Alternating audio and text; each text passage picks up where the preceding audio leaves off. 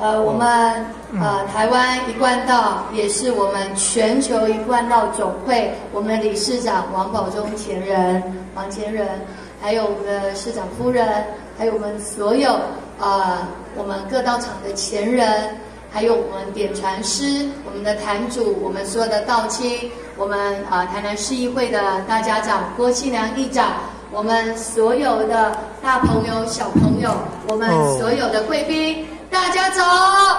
委员早！一贯道就像大家庭一样，在这个大家庭充满温暖。而且，咱有这么多，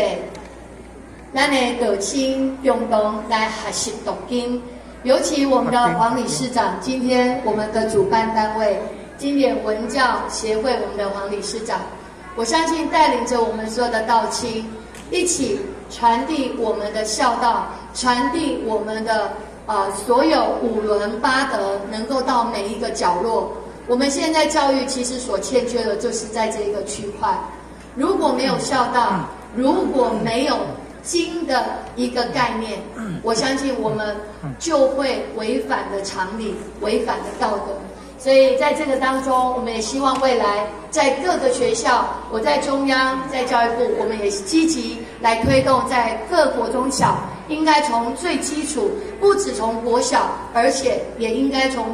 幼稚园就应该从我们的读经开始，让他们知道我们的孝道在哪里，我们的五伦八德在哪里。让他们能够从小就根深蒂固，所以在我们这一次呃我们的读经状元里面，呃刚刚我们的理事长有说，从两岁到九十几岁，就表示其实在整个道德的一个概念当中，我们要不断。不分你我，不分年纪，不分时间，我们就是大家要一起推动，让我们一起加油。也谢谢我们所有的道亲在这个区块努力的推动，也让我们这个社会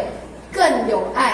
更有温暖。更有孝道，在此祝福我们今天整个活动圆满成功，也祝福我们所有的好朋友身体健康，万事如意。再一次谢谢大家，谢谢。